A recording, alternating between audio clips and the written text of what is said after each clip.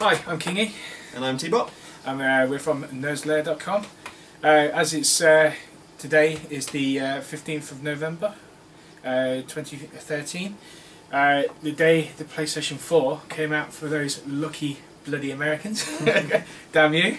And I uh, hope you're having fun with them. we're very nostalgic, as, Yes. as always, towards thought- this generation. Yes, we thought we'd uh, look, uh, have a little chat about our favourite moments from this gen. So, over Um, to you. What was your f- uh, one of, some of your favourite moments? I'm gonna I'm gonna start it off with something that I think uh, happened a lot this generation, and I think that stealth was done very well this Do you know generation, what? I and, and gave me stealth. so many moments that Yeah. just made me so happy. Um, ones that stick out.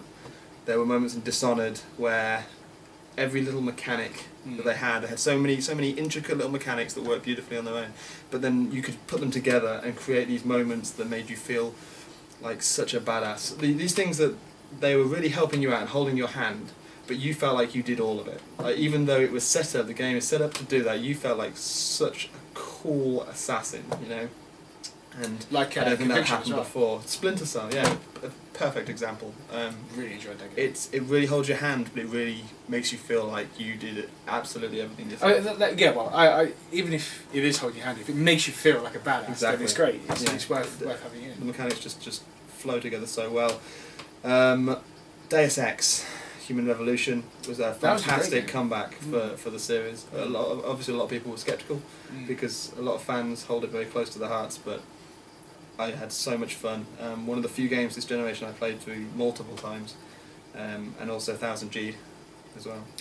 Which, I, I played it when I got it through on the PlayStation Network, ah, yeah. and uh, it wasn't bad on there. It had some faults on the PlayStation version, but yeah, I enjoyed the game. yeah, definitely. I only played through it the once though. And like I said, moment. I wouldn't, you know, we're talking about moments. I think that definitely had some great, great moments. I think that was the the, the sort of turning point when um, stealth started coming back big time, and um, and then it was everywhere. But but even though it was everywhere, it was still done really well every Yeah. time. It was it was it's great, and I hope to see more of it with Thief on the next generation.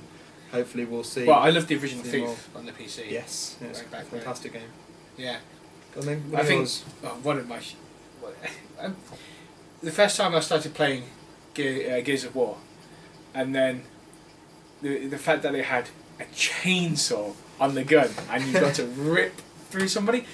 Holy crap! Whoever thought of that, you're a bloody genius. there's something about the over-the-top violence. It was ridiculous, but amazing. Yeah, the, the, it was like Big were- bulking guys in space armor. And, Like they're giving us, it was like they were giving us a slap in the face and saying we are not, we are not just going to take it easy on this, on this But- but- console. we can do this, so we're going to throw blood in your face. We're going to make it overly violent for mostly no reason. It was also the game that, um, you know, put focus onto third-person shooter games and had that amazing cover mechanic It defined it. so well. yeah. And then every other game copied that. Pe- People forget these things. I mean, people forget that things like Halo, uh, back on the original Xbox, sort of helped um, funnel the first-person It- shooters it defined, on it, consoles. it, it defined how you would play uh, Yeah. first-person shooter. People forget about these stars, and Gears of War definitely defined how cover mechanics should work.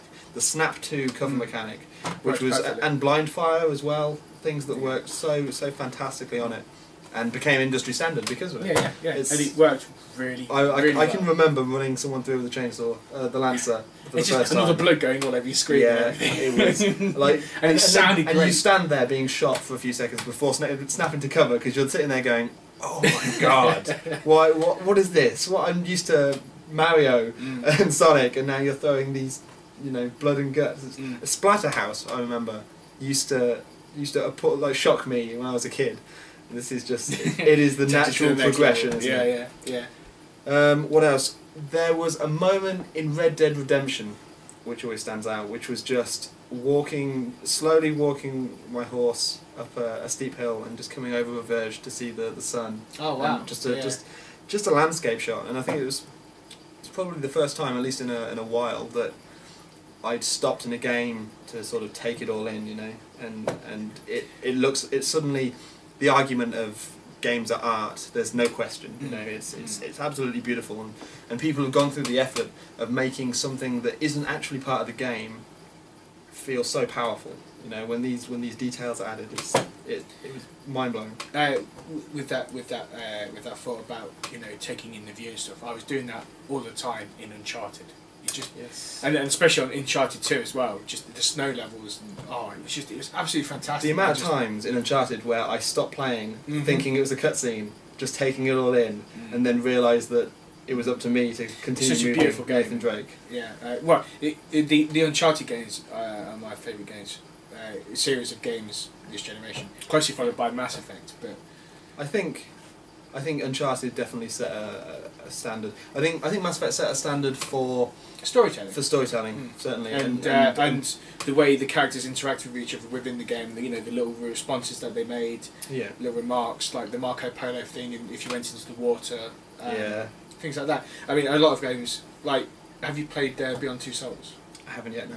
Uh, that's really good, and that's, I think that takes uh, acting within games to the next level. In the same way that uh, Heavy Rain did for for the near the near the start of the. Yeah, uh, yeah. I mean, it's, it's definitely building on from what Heavy Rain did. I mean, Heavy Rain had some problems. It, it was a quick game. I really I enjoyed Heavy Rain, but this is much much better. Yeah. Yeah, yeah.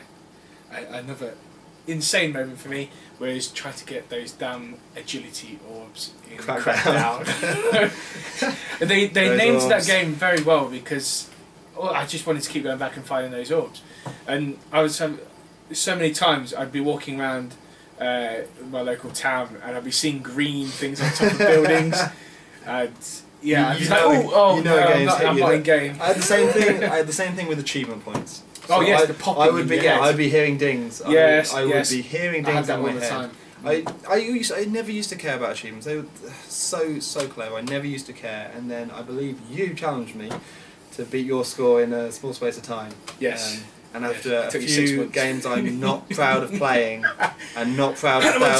thousand like Hannah Montana, I, I beat it. But I was hooked because it, it suddenly it suddenly made unappealing games a lot more appealing. It made games that I wanted to put down um, because of aspects of them a lot easier to carry on with, and, and it just makes me so glad that I did. You know, Mhm. um, I think Port- I always use Portal Two as my example. Portal Two has achievements attached to going out and finding audio logs that uh, you would not see otherwise, which is fantastic. I mean, that's Like, exactly uh, what they should be used for to push people forwards like to do other things. Yes, exactly. Yeah, it's it's it's, it's genius, um, and achievements are definitely an incredible part of, of this generation, and it's uh, probably the part that's affected me the most, whether I wanted it to or Mm. not. I mean, I'm a bit, I, I'm a bit fatigued on the Assassin's Creed series, but when I first played Assassin's Creed, running across the top ropes and then doing an assassination, The, that, the that first was- time we did that, yeah. yeah, Um, so much fun. Keeping on Assassin's Creed, this was definitely a moment for me. Uh, the first game I ever got on the, the 360 was Assassin's Creed. As soon as he put his hand in a handhole on a, on a building, Mm. he I was trying to tell him to go up. He went a bit to the right, so that uh, Altair went a bit to right to the right, so he could grab a Yeah. specific Yeah. nook. Yeah, Um, it just it seems it seems like tiny now, but that blew my mind. The fact that they they rendered it and animated it so that it looked legit, and he would move very naturally every every hand um, that he put down. It was. I, I remember at that point because I'd gone two years previous not really playing any games, um, and I only got an Xbox because I didn't know what I wanted to, to get, you know, for that occasion. I remember you playing Halo 3 a lot Yeah, I was I was pretty obsessed. I the sticky grenades is another moment. as soon as I realised I could stick a grenade to somebody and laugh myself stupid watching their bum glow blue before exploding into oblivion. Good times. yes, yeah, definitely. Very good times. Um, I remember playing through Dead Space, and I ha- had to go through my surround sound, and just having the little monsters go around. I'm like, crap, where are they? Where are they? And you like go around the corner, you didn't know what when things were going to attack or not, and just just realizing to myself, this is how Resident Evil should be. Yeah. and was. well, one yeah, yeah, yeah, Um, Yeah. Dead Space 2, the hunters, I believe they were called, the little velociraptor style things that, that sort Mm. of they peek around a corner and you get a glimpse of them and you turn and by the time you turn all you see is them hiding again and then they jump out and, and Yes. leg it at you. That was a moment. That was a moment that made me absolutely cack myself. Doing the zero G stuff in it it was quite cool. as that well. was that was It- really good. uh, that that was was really a good stuff. Um, yeah, I'm gonna say Bioshock was probably in my top three would you um, kindly? because because Love spoilers that game so much. because the the little sister um, decision. Yeah, Um, it, that really affected it was me. it was I didn't understand it. The, I'd never had it before. I got there. I'd read all about people um, having to, to choose this this moral choice, and I never understood. I never it never came to me that I would be able to sit there and care enough. You know, it was always a game, and it was like I'll do whatever gets me the most points. Of course, I'm going to harvest them for Adam. Well, I won the Adam, but I, couldn't- got could there that. and I couldn't do it. No, I couldn't do it. could not I bring did, myself I, to do it. I did. I think I did it once, so I could get that achievement point. You're an evil person. For an then- achievement point. But then. I uh, I uh, I cancelled out and then reloaded my save, so I didn't have that, so I could get the achievement. But it was yeah, I just couldn't bring myself to do it. I was just like, I can't do this. A little girl, I It can't was- do that. and the fact that they're standing over the big daddies saying "Get up, daddy" and stuff like Mr. Bubbles. was, yeah, so much emotion to it, and Yeah, it was, I it was so well I done. couldn't bring myself Even in a it. game where every time you die, you come back to life in a chamber Mm. around the corner, which should should be so unimmersive. It should suddenly make you not care at all because Mm. it, it, it's- it, it's shouting "I'm a game" at you. But it doesn't matter. As soon as you see that little girl's No. face, animated so well and rendered beautifully. And then, and then when you when you were close to them, they're like, oh, thank you. And you're like, Yeah. oh, The yeah, I did good. I did good. well. I, I, I've, I've seen the animation of taking it and the, Yeah. the terror on their face, Yeah. trying to claw themselves away from it. I don't know. I don't, I don't know how people how people can do it No, I couldn't do that. for either. achievement points, no less. You would have done it. I'm I, I, I may go back and get some achievement points.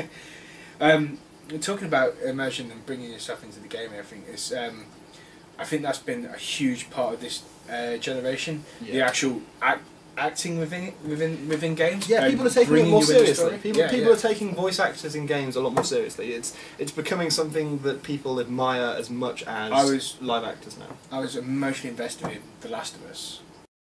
Oh my god. Try, looking after, trying to look after Ellie. I know she w- could look after herself most of the time, but you know, if she got attacked, I was like, "You fucking, Yeah. you get you get off that." And There was there were so many moments when Mm. I would be I would go from sitting down to kneeling down to standing up because I couldn't I just couldn't sit still. I, the idea that, that she was in danger, and there's a moment where she goes off on her own. She she drops a ladder down for you like Mm. uh, twenty odd times in the game. She she'll go up high. You'll you'll send her up. She'll drop a ladder, and you'll climb up. And that's the way it's always been. The near nearer the end of the game, you send her up, and she doesn't drop the ladder. And there was just this moment of panic, uh, just through my entire body. I, I need to get to Ellie. I need to. And again, it's just crazy that, the that a game can do this to you. Mm. But I was- I just, they just so clever at storytelling. Naughty Dog, so clever at Very the good. way that they, Yeah. they structure and manipulate you as a, as a person to care about these these characters. another game that really made me care was The Walking Dead. Yeah. Uh, and Again, using little girls. This is their technique. Yeah. They use little girls to pull out our heartstrings. I mean, yeah, it's just it's just the way uh, they made you uh, care about the characters, Clemmy. and yeah, exactly, yeah, Clemmy. yeah, and uh, you know, and making you feel like your choices had a lot of consequences. Yeah. Because when you actually look at the game, you didn't have that much choice of what, apart from kind of like who died or who didn't. At, at certain points as well, because Yeah. it typically came full circle uh, yeah, eventually. exactly. Yeah, but it made you feel like you Yeah. had every decision that's that important, and In the same way that made um, feel awful, Deus. Ex was was pretty limited, but it did a very good job of making you feel like you had freedom to take it how you wanted. That did a very good job of making you feel like you had complete control of the story, Mm. even though um, Telltale are, are right there forcing you down a, a pretty narrow path. You feel like you're you're um, you know touching and, and evolving the narrative, even though you're not, and that is. That is, in my books, that is just as good as giving us the sort of freedom Mass Effect did. Um, as long as I feel like it's my story, I'm, you know, I don't care. Mass. Effect made me feel like uh, made me feel like I was controlling the story. It was my destiny, and I was controlling who I was friends with and who I wasn't. And this Who was going to die? Yeah, uh, and it's such a massive achievement that they managed to get your, you know, the progression from what things that happened in the first game all the way up to the very end Yeah. of the last How of many the years third game. that been? I can't remember now. It was a good. Like, probably good four, Good four, four years. years, I'd say. Yeah, uh, you know, absolutely it's amazing. an I really thing. cared about those characters, uh, the people that are on that ship and stuff. And like there was there was one moment like might be slightly spoilerific for you if you haven't played through it, but um, there's a bit with uh, Tali's race. What was Tali's race? I can't remember now. I can't remember. I just remember Um, but uh, uh, because of a choice I made in Mass Effect 2, I wasn't able to calm down the situation between the, the two sides, It's great. and I actually caused her race to become extinct. And you didn't have a choice. I didn't have a choice. Because of I the tried. I tried so hard to save, and he, uh, she was like, uh, they became extinct, and then she committed suicide by jumping off the stuff. And I was, I was absolutely devastated. I just, I, I sat there just going, You lost. You lost Tali in Yeah. two. no, no, in the third one. Okay. In the third one, but Wow. because uh, she committed suicide because Uh, Tali survived in mine. Yeah, she's. I was absolutely she's all right in my devastated. on that. I could, I, was, I had to just put the controller down and walk away and go make myself a cup of And that, and they're the moments we're talking about. The moments, the moments that make you do something in real life, rather than just like, oh, that's happened in the game. They actually they affect you so much that you change what you're doing at that moment. Like, yeah, I, st- I just put my pad down and I went and got Yeah. made myself a there cup have of been there, there have been so many. This, I this- could. I was devastated. Devastated. Going going to some happier times. Um, the the bow and arrow um, sort of direction everything's got in near the end Tomb of this Raider. gen. Tomb Raider, Far Cry, Far Cry, yeah. um, Crysis Yes. as well. Yeah. I love it. Yeah. I, love the bow absolutely love it. it. Again, they do a really good job of making you feel like you have the skills of Robin Hood, whilst actually making the in-game mechanic pretty Mm. easy. Um, Far Cry Three for me, there was there were so many moments where I would stay in the bushes, um, and I would take out a group of people with just a bow and arrow, like one, two, three, allowing for drop distance and stuff, Mm. and it would. I, I would just feel It was my go-to weapon. exactly Yeah, yeah, throughout, throughout the entire game. Silent, deadly, and just so much fun to play with. you go. Exactly. And like I say, allowing for things like like drop and allowing for things like um, line of sight. If someone's walking in and you you aim the perfect shot to land in their head. There were so many moments like that that just made me again just sort of put the controller down on my lap for a second and just sort of take it all in. It was it was fantastic. Right, I'm gonna put it on the spot. Okay. Just to kind of wrap things up. Okay. Best DLC this generation. Oh wow. Best DLC. Um, you go first. I'll give it some thought. Undead Nightmare for Red Dead Redemption. Absolutely loved it. Very good one. The way the wave mode stuff and the Yeah, stuff was yeah. really, really And the good. uh, the apocalyptic uh, apocalyptic horses. I know. I, Death, never, I, never, I never saw one. Was it just part of the DLC? Yeah. Because I, I only ever played it with friends. I never actually saw one of the Yeah, one of the. you, got, you get to collect all four. Oh, it had it had like unlimited um, um, speed, didn't it? It didn't run out of breath or something. Uh, I can't did? No, because that was. I mean, that was Yeah. the worst thing in, in, in Red Dead. When you when you want to get away from a situation bad, and you're hammering, you're feeling the vibration Oh, no. speed up. I had, I had a the choice. horse, so it wasn't as bad. Oh right, I didn't. I was probably on some sort of mule. Special there, I'm on a mule over here. Um, DLC. I didn't buy a lot of DLC. Oh, um, the Missing Link DLC from Deus Ex. Okay. I really, really enjoyed that. Mm. I'm probably just because it was more Deus Ex, and I, I love that game. I played it so much. Mm. But um, Missing Link DLC is it's very cheap now as well. I recommend you pick it up if you haven't played it I, I think a close second for me was uh, Lost in the Damned on GTA 4. Again, I didn't play any GTA Yeah, 4 Rockstar DLC. again. You know, GTA they know how to 5. do the DLC. GTA Five, um, taking a selfie of myself with a with like a, a, a sunny background whilst wearing a lucha libre wrestling mask. Mm. There you go. There's another there's another moment, defining moment that Mm. sort of makes you sit and wonder how it's come so far. Because that was that was crazy. That entire game, the amount of, the amount of content, Detail in that game yeah, as well. it's, Yeah. it's unbelievable. It makes you really curious to see what they're going to do with the new power of the PS4 and Mm. and Xbone. That's I don't like it. fine. They've said that they've said that they don't mind the Xbone now. Well, they've said that they've accepted the Xbone. Yeah. As Wow. soon as they bought Xbone.com, I saw that as a go ahead. Yeah, definitely. Well, well uh, thanks for uh, watching. Um, leave responses in the comments about your favourite moments. Make sure you check out nerdslair.com. Yes. Later.